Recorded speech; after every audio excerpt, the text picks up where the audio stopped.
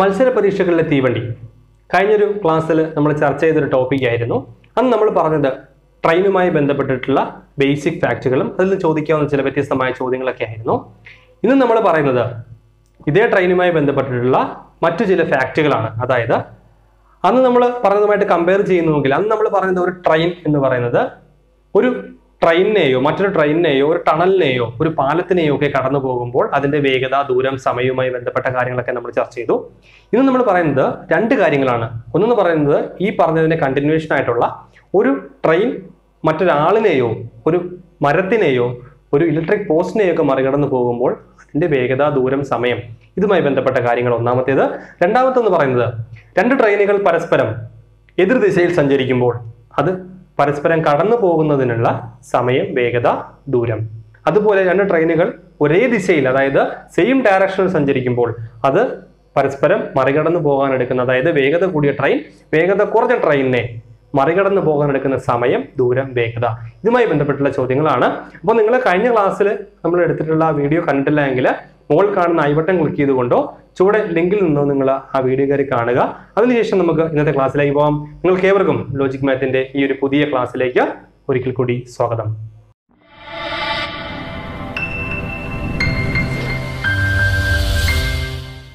നൂറ്റി അറുപത് മീറ്റർ നീളമുള്ള ഒരു തീവണ്ടി എഴുപത്തിരണ്ട് കിലോമീറ്റർ പെർ മണിക്കൂർ വേഗതയിൽ സഞ്ചരിക്കുന്നു. പ്ലാറ്റ്ഫോമിൽ നിൽക്കുന്ന ഒരാളിനെ മറികടക്കാൻ തീവണ്ടിക്ക് വേണ്ട സമയം എത്ര? ഇപ്പോൾ ഡയറക്റ്റ് ചോദ്യമാണ്. അതായത് ഒരു തീവണ്ടി എന്ന് പറയുന്നത് ഒരാളിനെ മറികടക്കുന്നു. അപ്പോൾ നമ്മൾ പറഞ്ഞതുപോലെ ഒരു തീവണ്ടി ഒരാളിനെ മറികടക്കുമ്പോൾ ആ തീവണ്ടി സഞ്ചരിക്കേണ്ട ദൂരം എന്ന് പറയുന്നത് ട്രെയിനിന്റെ തന്നെ അതായത് ആ തീവണ്ടിയുടെ തന്നെ നീളത്തിന് തുല്യമായിരിക്കും എന്ന് നമ്മൾ പറഞ്ഞതാണ്.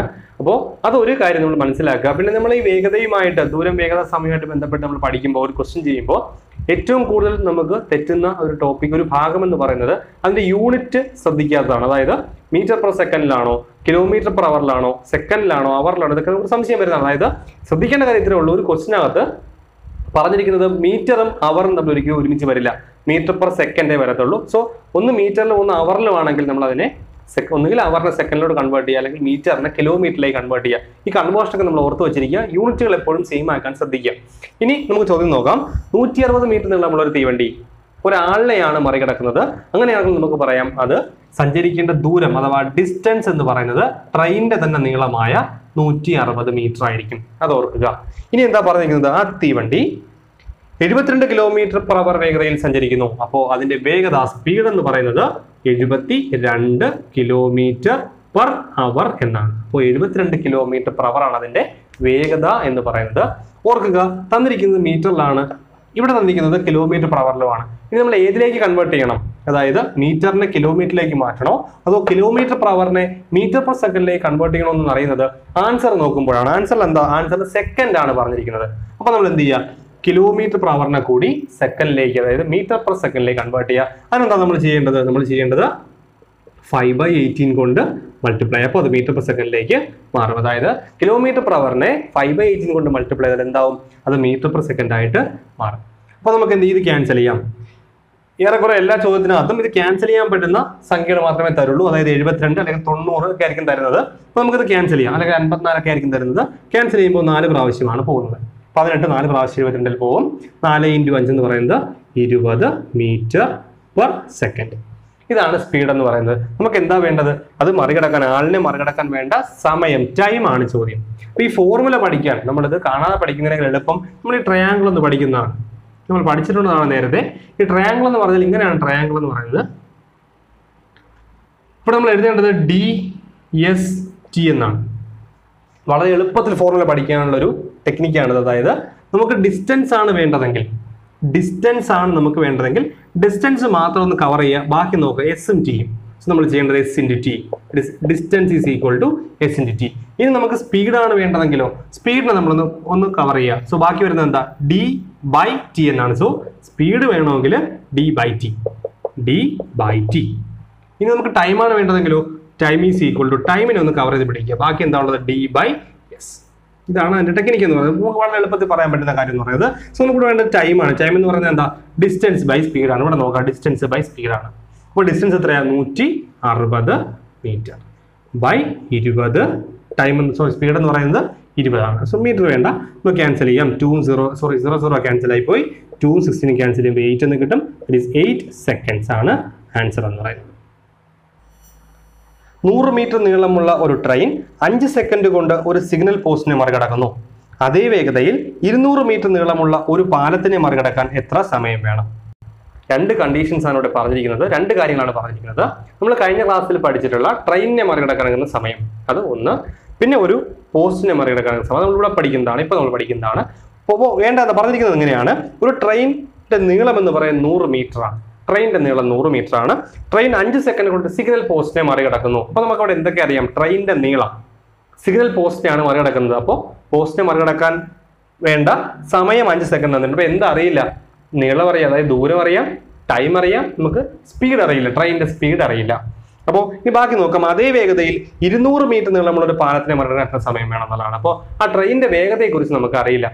ആ വേഗത കണ്ടുപിടിക്കുന്നതിനാണ് നമുക്ക് ആ ഫസ്റ്റ് സെന്റൻസ് തന്നിരിക്കുന്നത്. അതായത് നൂറ് മീറ്റർ നീളമുള്ള ട്രെയിൻ അഞ്ച് സെക്കൻഡ് കൊണ്ട് ഇലക്ട്രിക് പോസ്റ്റിനെ മറികടക്കുന്നു അവിടെ നമുക്ക് വേഗത കണ്ടെത്താം. നമുക്ക് നോക്കാം. നൂറ് മീറ്റർ നീളമുള്ള ട്രെയിന് ഒരു പോസ്റ്റിനെ മാറി മറികടക്കുമ്പോൾ ആ ട്രെയിൻ സഞ്ചരിക്കേണ്ട ദൂരം എന്ന് പറയുന്നത് ട്രെയിനിന്റെ തന്നെ നീളമായിരിക്കും. അതായത് ഡിസ്റ്റൻസ് ഇസ് ഈക്വൽ ടു നൂറ് മീറ്റർ എന്ന് പറയാം. ടൈം എത്രയാ? ടൈം എന്ന് പറയുന്നത് അഞ്ച് സെക്കൻഡ് നമുക്ക് ആ ട്രയാങ്കിൾ നോക്കാം. അതായത് ഡി എസ് ടി എന്താ വേണ്ടത്? സ്പീഡാണ് നമുക്ക് വേണ്ടത്. സ്പീഡ് എന്ന് പറഞ്ഞാൽ എന്താ? ഡി ബൈ ടി അതായത് നൂറ് ബൈ അഞ്ച് എന്ന് പറയുന്നത് ഇരുപത് എന്ന് കിട്ടും. സോ ഇരുപത് മീറ്റർ പെർ സെക്കൻഡ് ആണ് അതിന്റെ വേഗത. മീറ്റർ പെർ സെക്കൻഡ് ആണ് അതിന്റെ വേഗത എന്ന് പറയുന്നത്. ഇനി നമുക്ക് എന്താ വേണ്ടത്? ആ ട്രെയിൻ ഇരുന്നൂറ് മീറ്റർ നീളം നമ്മളൊരു പാലത്തിനെ കടക്കുന്നു. കഴിഞ്ഞ വീഡിയോ ക്ലാസ്സിൽ നമ്മൾ പരിചയപ്പെട്ടതാണ്. ഒരു പാലത്തിനെയോ മറ്റൊരു ട്രെയിനിനെയോ ഒരു തുരങ്കത്തെയോ നമ്മൾ മറികടക്കുമ്പോൾ ട്രെയിൻ സഞ്ചരിക്കേണ്ട ദൂരം എന്ന് പറയുന്നത് ആ ട്രെയിനിന്റെ നീളം പ്ലസ് എന്തിനെയാണോ മറികടക്കുന്നത് അതിന്റെ നീളം? ഇവിടെ എന്തിനാണ് മറികടക്കുന്നത്? അത് ഒരു പാലത്തിനെയാണ് ഇരുന്നൂറ് മീറ്റർ നീളമുള്ള പാലത്തിനെയാണ്. അപ്പോൾ ഫസ്റ്റ് പാർട്ട് ഇവിടെ നിൽക്കട്ടെ. ഈ ട്രെയിനിന്റെ ഡിസ്റ്റൻസ് കവർ ചെയ്യുന്ന ഡിസ്റ്റൻസ് എന്ന് പറയുന്നത് ട്രെയിനിന്റെ നീളം പ്ലസ് പാലത്തിന്റെ നീളം. അതായത് നൂറ് പ്ലസ് പാലത്തിന്റെ നീളം എത്രയാണ് ഇരുന്നൂറ് metre that is equal to മുന്നൂറ് മീറ്റർ ആണ് ഡിസ്റ്റൻസ് എന്ന് പറയുന്നത്. ആ ട്രെയിനിന്റെ സ്പീഡിന് മാറ്റമൊന്നും വരുന്നില്ല. അത് ഇരുപത് മീറ്റർ പെർ സെക്കൻഡ് തന്നെയാണ്. അവരുടെ ചോദ്യം എന്ന് പറയുന്നത് എത്ര സമയം വേണം? ഡിസ് ടി എന്ന് പറയുന്നത്. ടി എന്ന് പറയുന്നത് ഡി ബൈ എസ് അപ്പൊ ഡി എത്രയാണ്? ഡി എന്ന് പറയുന്നത് മുന്നൂറ്. ബൈ എസ് എത്രയാണ്? എസ് എന്ന് പറയുന്നത് ഇരുപത് മീറ്റർ പെർ സെക്കൻഡ് നമ്മൾ കണ്ടുപിടിച്ചതാണ്. സോ ഇത് ക്യാൻസൽ ആയി. മുപ്പത് ബൈ രണ്ട് എന്ന് പറയുന്നത് എത്രയാണ്? പതിനഞ്ച് സെക്കൻഡ്സ് ഇതായിരിക്കും ഇതിന്റെ ആൻസർ എന്ന് പറയുന്നത്. നൂറ്റി അൻപത് മീറ്റർ നീളമുള്ള ഒരു ട്രെയിൻ എട്ട് സെക്കൻഡ് കൊണ്ട് ഇരുന്നൂറ്റി അൻപത് മീറ്റർ നീളമുള്ള ഒരു പാലത്തിനെ മറികടക്കുന്നു. എങ്കിൽ ആ ട്രെയിനിന് ഒരു ടെലിഫോൺ പോസ്റ്റിനെ മറികടക്കാൻ എത്ര സെക്കൻഡ് വേണം? അപ്പോൾ നൂറ്റി അൻപത് മീറ്റർ നീളമുള്ള ഒരു ട്രെയിനാണ് എട്ട് സെക്കൻഡ് കൊണ്ടത് ഇരുന്നൂറ്റമ്പത് മീറ്റർ നീളമുള്ള ഒരു പാലത്തിനെ മറികടക്കുന്നു.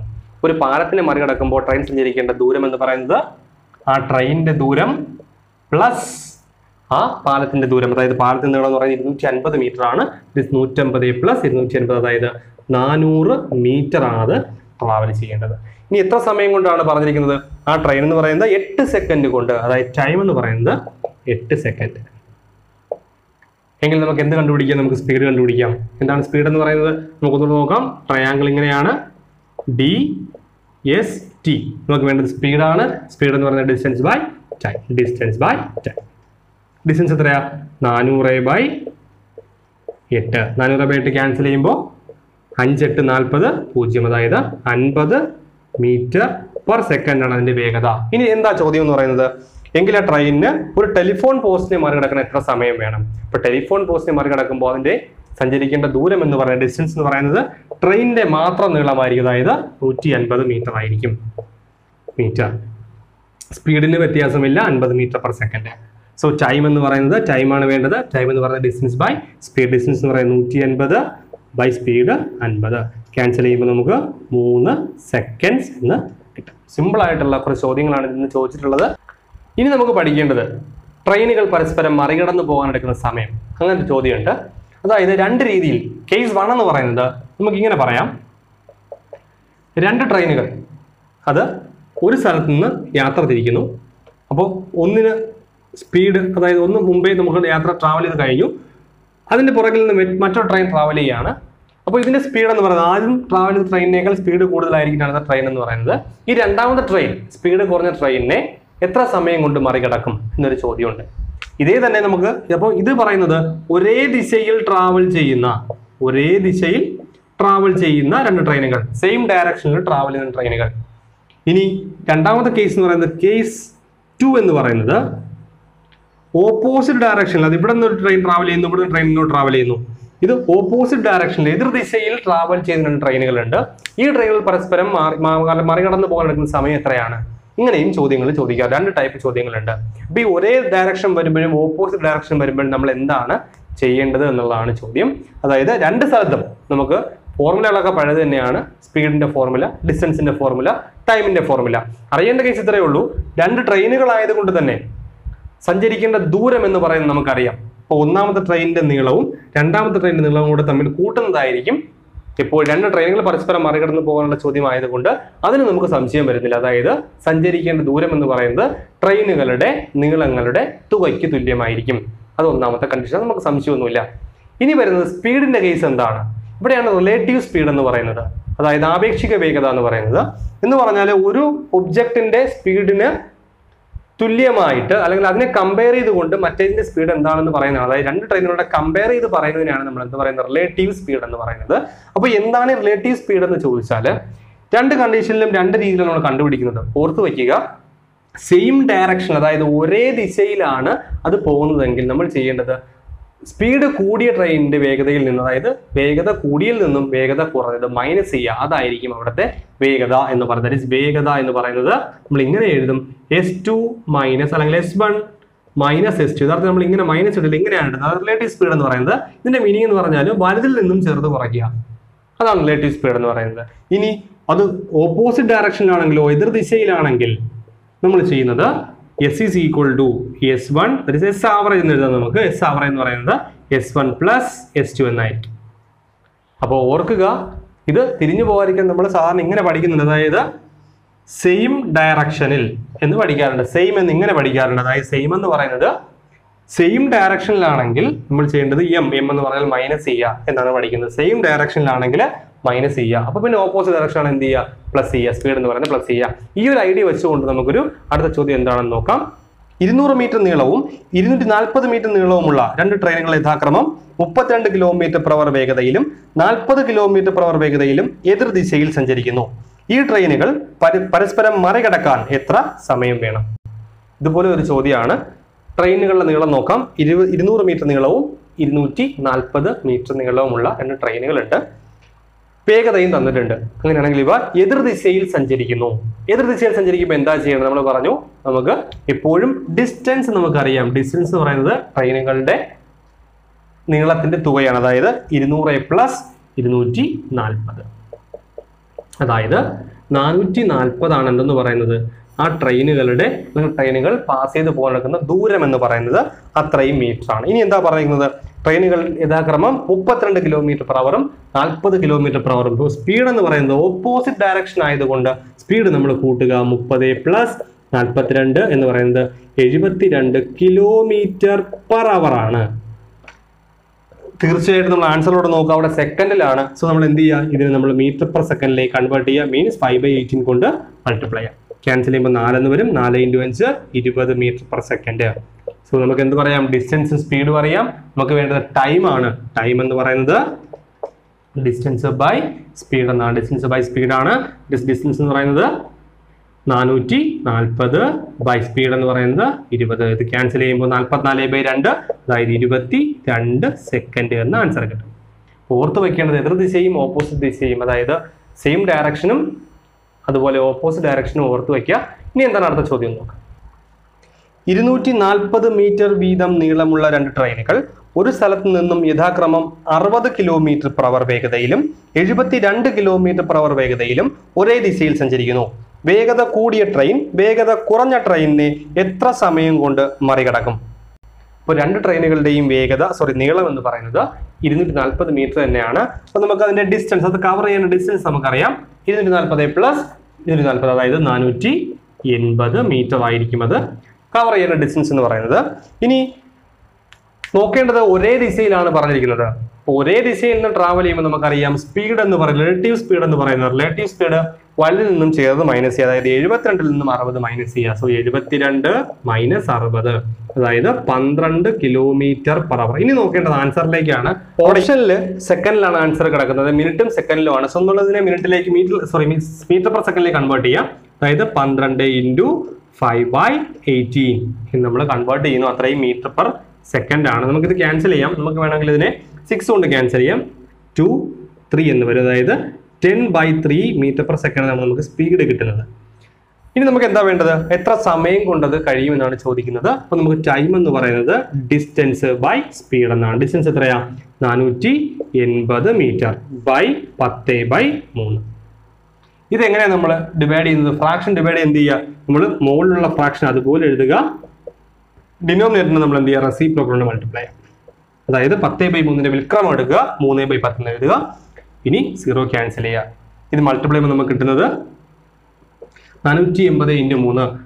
മൂന്നെട്ട് ഇരുപത്തിനാല് രണ്ട് മൂന്ന് നാല് പന്ത്രണ്ട് രണ്ടും പതിനാല്. നൂറ്റി നാൽപ്പത്തിനാല് സെക്കൻഡ് എന്ന് കിട്ടും. പക്ഷേ മിനിറ്റിലും സെക്കൻഡിലുമാണ് പറഞ്ഞേക്കുന്നത്. അപ്പോൾ നൂറ്റി നാൽപ്പത്തിനാല് സെക്കൻഡ് എന്ന് പറയുന്നത് എത്ര മിനിറ്റ് എത്ര സെക്കൻഡ് എന്നാണ് ചോദ്യം. നമുക്ക് സിമ്പിൾ ആയിട്ട് പറയാൻ പറ്റും. വേണമെങ്കിൽ അറുപത് കൊണ്ട് ഹരിച്ചു നോക്കിയാൽ മതി. അറുപത് കൊണ്ട് ഹരിക്കുമ്പോൾ അതായത് നൂറ്റി നാൽപ്പത്തിനാലിന് മിനിറ്റിലേക്ക് മാറ്റാൻ നമ്മൾ എന്ത് ചെയ്യുക? അറുപത് കൊണ്ട് ഹരിക്കുക. അപ്പോൾ നൂറ്റി നാൽപ്പത്തിനാല് ബൈ അറുപത്. എന്ത് വരും? രണ്ട് അറുപത് നൂറ്റി ഇരുപത്. ബാക്കി ഇരുപത്തി നാല് എന്ന് വരും. അപ്പൊ അതിന്റെ മീനിങ് എന്താണ് പറയുന്നത്? അറുപത് ഹരിക്കുമ്പോൾ രണ്ട് മിനിറ്റും. അതായത് രണ്ട് മിനിറ്റ് എത്ര സെക്കൻഡ് ഇരുപത്തിനാല് സെക്കൻഡ് സോ ഇരു രണ്ട് മിനിറ്റും ഇരുപത്തിനാല് സെക്കൻഡും ആയിരിക്കും എടുക്കുക മണിക്കൂറിൽ എൺപത് കിലോമീറ്റർ വേഗത്തിൽ ഓടുന്ന ഒരു തീവണ്ടി എതിർദിശയിൽ മണിക്കൂറിൽ പത്ത് കിലോമീറ്റർ വേഗത്തിൽ ഓടുന്ന ഒരാളെ മറികടന്നു പോകാൻ നാല് സെക്കൻഡ് വേണമെങ്കിൽ തീവണ്ടിയുടെ നീളം എത്ര അപ്പോൾ കുറച്ച് ഇൻഡയറക്റ്റ് ആയിട്ടുള്ള ചോദ്യമാണ്. മണിക്കൂറിൽ എൺപത് കിലോമീറ്റർ വേഗത്തിൽ ഓടുന്ന ഒരു തീവണ്ടി എതിർ ദിശയിൽ പത്ത് കിലോമീറ്റർ ഓടി വരുന്ന ഒരാളിനെ മറികടക്കാൻ നാല് സെക്കൻഡ് എടുക്കും. എങ്കിൽ തീവണ്ടിയുടെ നീളമാണ് ചോദ്യം എന്ന് പറയുന്നത്. സോ നമുക്കിവിടെ തന്നിരിക്കുന്നത് വേഗതകൾ അറിയാം. സോ നമുക്ക് എന്ത് ചെയ്യാം? മറ ആളിനെ മറികടന്ന് പോകാൻ എടുക്കുന്ന സ്പീഡ് എന്ന് പറയുന്നത് ആളിനെ മറികടന്ന് പോകുമ്പോൾ ട്രെയിനിന്റെ അല്ലെങ്കിൽ ട്രെയിൻ സഞ്ചരിക്കേണ്ട ദൂരം എന്ന് പറയുന്നത് ട്രെയിനിന്റെ നീളമായിരിക്കും. അപ്പോൾ നമ്മൾ ദൂരം കണ്ടുപിടിച്ചാൽ മതി. ഇനി ചോദിച്ചിരിക്കുന്നത് സ്പീഡാണ് നമ്മൾ കണ്ടുപിടിക്കേണ്ടത്? എതിർ ദിശയിൽ ഓടുമ്പോൾ എന്താ സംഭവിക്കുക? സ്പീഡുകൾ തമ്മിൽ കൂട്ടണം. സോ റിലേറ്റീവ് സ്പീഡ് എന്ന് പറയുന്നത് എൺപതും പത്തുമാണ് ഒരു തൊണ്ണൂറ് കിലോമീറ്റർ പെർ അവർ ഇനി ആൻസറിലേക്ക് നോക്കുക. അവിടെ മീറ്റർ ആണ്. നമ്മൾ എന്ത് ചെയ്യതിനെ തൊണ്ണൂറ് into five by eighteen metre per second cancel ചെയ്യുമ്പോൾ ഫൈവ് എന്ന് വരും. ഇരുപത്തി അഞ്ച് മീറ്റർ പെർ സെക്കൻഡ് ഞാൻ പറഞ്ഞു എപ്പോഴും ക്യാൻസൽ ചെയ്യാൻ പറ്റുന്നതായിരിക്കും ചോദിക്കുന്നത്. അൻപത്തിനാല് എഴുപത്തിരണ്ട് തൊണ്ണൂറൊക്കെ ആയിരിക്കും ചോദ്യം. അപ്പൊ അമ്പത്തിനാലാണെങ്കിൽ പതിനെട്ട് മൂന്ന് പ്രാവശ്യം ഇവിടെ നാല് പ്രാവശ്യം ഇവിടെ അഞ്ച്. ഇതൊക്കെ ഓർത്ത് വെച്ചിരുന്നാൽ പെട്ടെന്ന് ഇവിടെ നിന്ന് ക്യാൻസൽ ചെയ്യാം. അതാണ് ഓർത്ത് വെക്കേണ്ടത് നമ്മൾ അൻപത്തിനാലിലാണെങ്കിൽ മൂന്ന് പ്രാവശ്യം എഴുപത്തിരണ്ടിൽ നാല് തൊണ്ണൂറിൽ അഞ്ച് അതുകൊണ്ടാണ് നമുക്ക് പെട്ടെന്ന് ക്യാൻസൽ ചെയ്യാൻ പറ്റുന്നത്. നമ്മൾ ടേബിൾ എന്ന് പറഞ്ഞ് നോക്കാൻ നമുക്ക് ചെയ്യാൻ പറ്റും. സോ ഇരുപത്തിയഞ്ച് മീറ്റർ പെർ സെക്കൻഡ് നമുക്ക് സ്പീഡ് കിട്ടി. ഇനി എന്താ നമുക്ക് വേണ്ടത്? നമുക്ക് അതിന്റെ സമയം തന്നിട്ടുണ്ട്. ടി എന്ന് പറയുന്നത് നാല് സെക്കൻഡ് ആണ് എങ്കിൽ തീവണ്ടിയുടെ നീളമാണ് ചോദ്യം. ഡിസ്റ്റൻസ് ആണ് ചോദ്യം. ഡിസ്റ്റൻസ് എന്ന് പറഞ്ഞാൽ നമുക്കറിയാം. നമ്മൾ വരച്ചു നോക്കുക. സംശയങ്ങൾ എപ്പോൾ വരുന്ന അപ്പോൾ വരച്ചു നോക്കുക. ഡി എസ് ടി ഇതാണ് ഓർഡറാണ് നമ്മൾ എഴുതിയിരിക്കുന്നത്. ഓർഡറിനാണ് എഴുതിയിരിക്കുന്നത്.